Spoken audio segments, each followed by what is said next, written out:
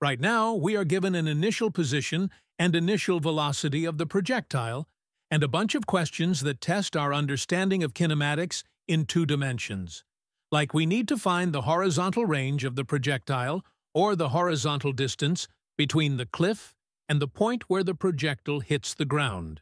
Then the maximum height the projectile reaches above the cliff and then velocity of the projectile at 3 seconds after the launch. So, what is the very first thing that you must do? Yes, right, we must first draw a diagram of the question. This is the cliff from where the projectile is launched, and this is the ground below. Our projectile will be launched from this point like this, and it will follow this trajectory, right?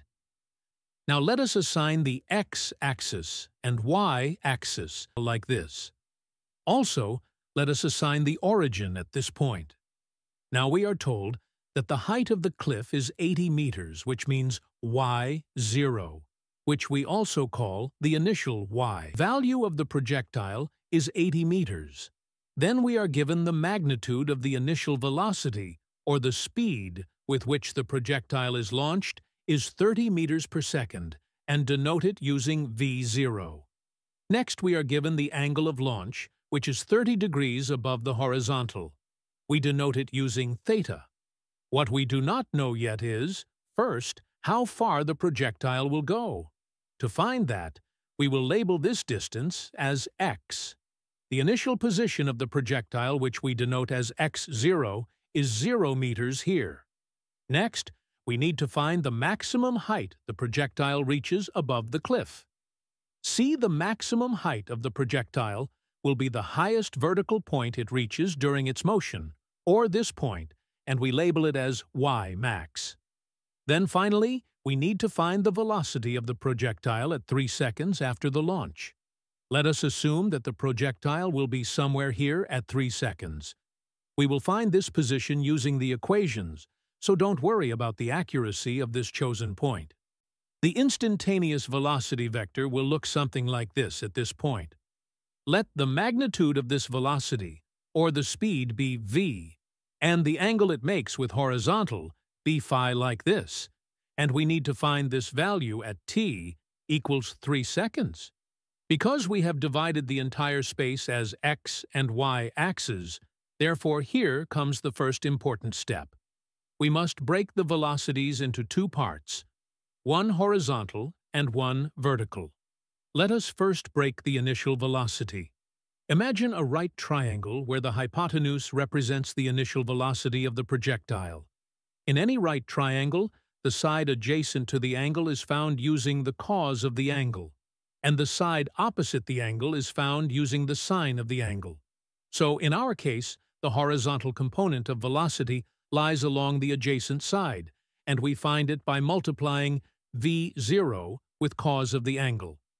This gives us the horizontal velocity. The vertical component lies along the opposite side, and we find it by multiplying v0 with sine of the angle.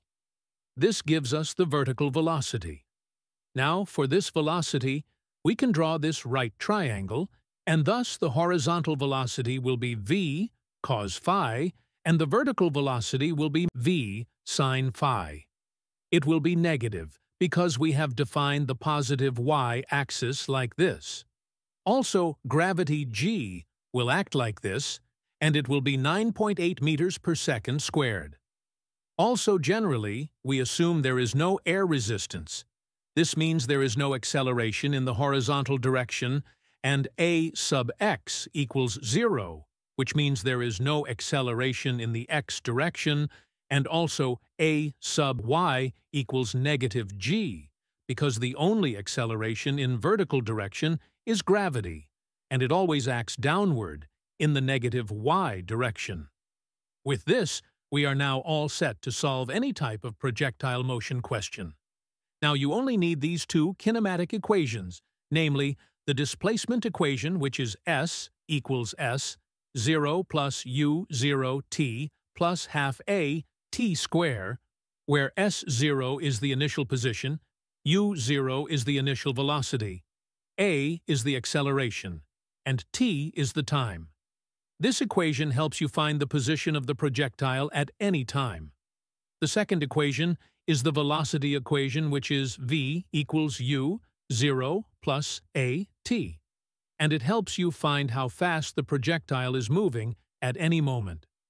Just remember to apply these equations separately in horizontal and vertical directions using the correct components of velocity and acceleration.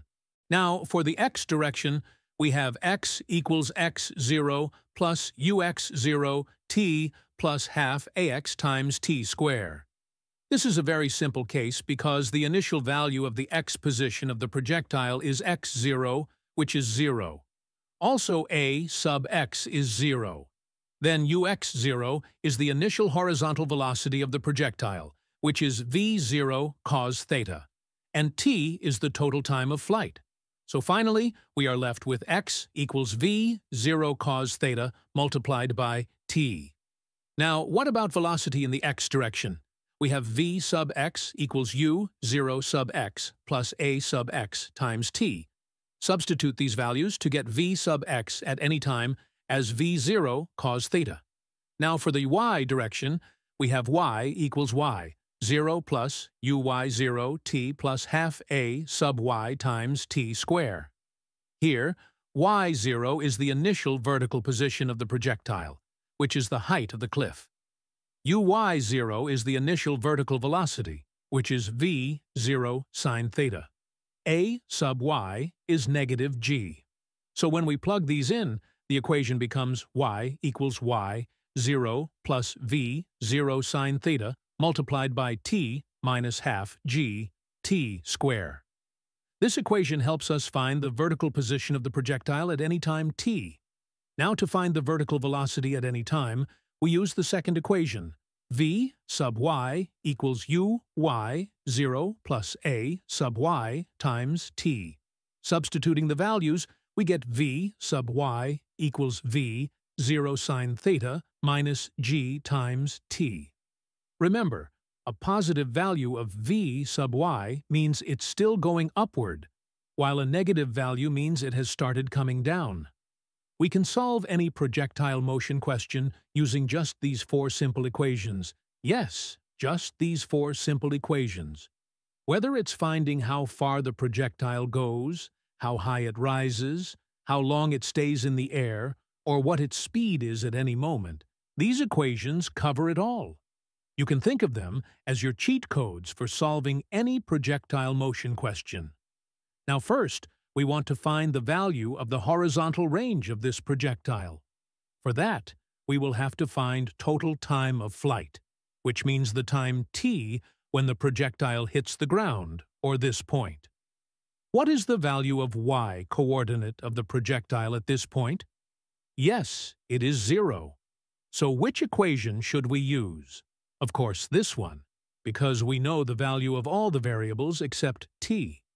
Substitute the values here to get 0 equals y. 0 is 80 plus 30 times sine 30 degrees times t minus half of 9.8 t square. On simplifying, we are left with this quadratic equation in terms of t, which is super easy to solve. We get these two values of t and obviously t cannot be negative, which means t is 5.85 seconds. Once we have the time of flight, we can use the x equation to find the range. x equals 30 times cos 30 degrees times t, or 5.85, which is nearly 152 meters. This is the horizontal range of our projectile. Next, we want to find the maximum height above the cliff. What do you think happens at this highest point? Yes, the vertical velocity of the projectile keeps decreasing due to gravity and eventually becomes zero at the highest point because the projectile stops rising and is just about to start falling back down. This means we will use this equation which contains v sub y, which equals 30 sine 30 degrees minus g times t. Now set v sub y equals 0. This will give us the time to reach the top point. t equals 30 sine 30 degrees over g, or 1.53 seconds. Once we have this, now we will use the y equation again to get y equals 80 plus 30 times sine 30 degrees times t, where t is 1.53 minus half of 9.8 t square, or 1.53 square. This gives y nearly equal to 91.48 meters. That means this distance will be 91.48 meters. So, the maximum height above the cliff, or this distance, will be equal to 91.48 minus 80, or 11.48 meters. That was super-duper easy. Finally, we need to find the velocity of the projectile at t equals 3 seconds. It's super-duper easy. We use v sub x equals v 0 cos theta, or 30 times cos 30 degrees, or nearly 26 meters per second. Then we use v sub y equals this, or 30 sine 30 degrees minus g times t will be 3. This gives v sub y as minus 14.4 meters per second. Negative sign indicate that the velocity will be in the negative y direction. So if we draw a right triangle out of this horizontal and vertical velocity component, we get this. Now, phi will be this angle, and the magnitude of this velocity or speed of the projectile v will be this hypotenuse. So v equals square root of 26 square plus 14.4 square, or 29.72 meters per second. Then we have cos phi as 26 over 29.72, or 0.875. So phi equals cos inverse of this, or nearly 29 degrees below the horizontal. And that's it. With these four equations, you're now ready to confidently solve any projectile motion question that comes your way. If you enjoyed this video, please don't forget to like, share, and subscribe to our channel. Also, you can support my channel by joining our community and becoming a member. So good.